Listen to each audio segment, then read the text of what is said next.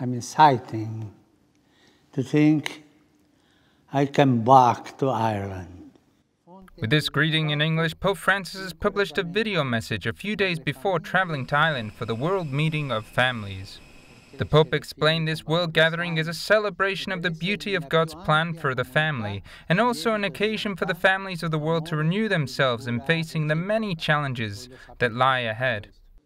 Spero che questa occasione potrà essere fonte di rinnovato incoraggiamento per le famiglie di ogni parte del mondo, specialmente di quelle famiglie che saranno lì presenti a Dublino. Possa essa ricordarci il posto essenziale della famiglia nella vita della società e nell'edificazione di un futuro migliore per i giovani.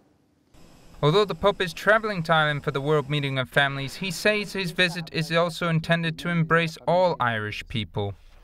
Prego in particolare perché serva a far crescere l'unità e la riconciliazione tra tutti i fedeli di Cristo come segno di quella durevole pace che è il sogno di Dio per l'intera famiglia umana.